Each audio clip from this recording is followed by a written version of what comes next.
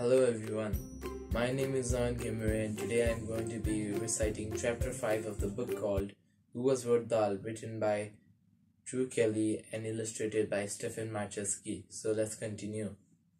Chapter 5 America After the danger of war, Roald rested quietly at home in the country. Even though he didn't have much money, he started collecting art and antiques. In 1941, the US entered the war to help the Allies, Great Britain, France, and in time Russia. Roald took a job in Washington, D.C. at the British Embassy. In his Royal Air Force uniform, he was every inch a charming and a handsome war hero.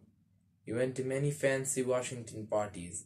He met interesting and glamorous people. Roald became friends with author Ian Fleming, who wrote the James Bond books. He sparred in the boxing ring with Ernest Hemingway. He played poker with Harry Truman, who became president in 1945.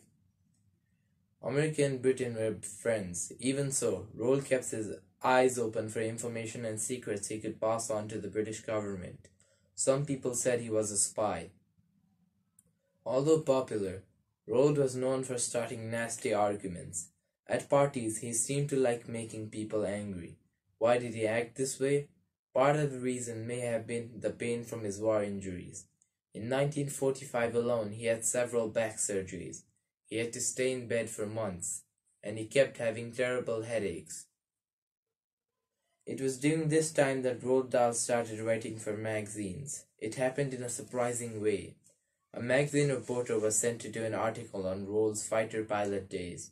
Instead, Roald wrote an account himself and sent it to the reporter.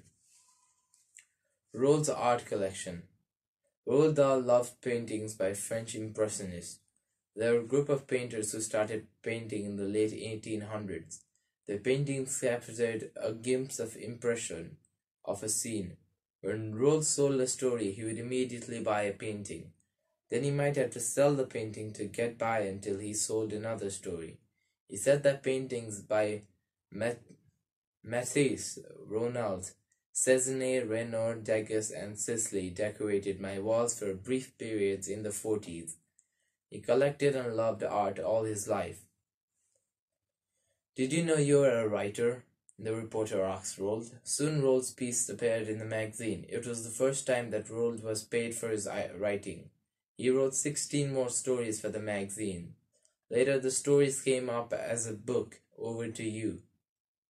Walt Disney heard about this war hero who wrote stories. He invited Roald to Hollywood. They talked about making a movie. It didn't work out, but a script about gremlins and airplanes was turned into a book. His first very children's book. It was called The Gremlins, a Royal Air Force story by Flight Lieutenant Roald Dahl. President Roosevelt's wife, Eleanor, read it to her grandchildren. She liked the book so much she invited Roald to the White House. By the end of summer in 1945, the war was finally over. Roald had had enough adventure. Even though he had been living in a world of wealth and glamour, he just wanted to go home and be a writer. England had suffered during the war. Roald was shocked to see the bombed out buildings, roads, and bridges. There was food and fuel shortages, crime, and unemployment. Even so, Roald is very glad to be back with his family. That's all for today. Thank you for listening. Thank you.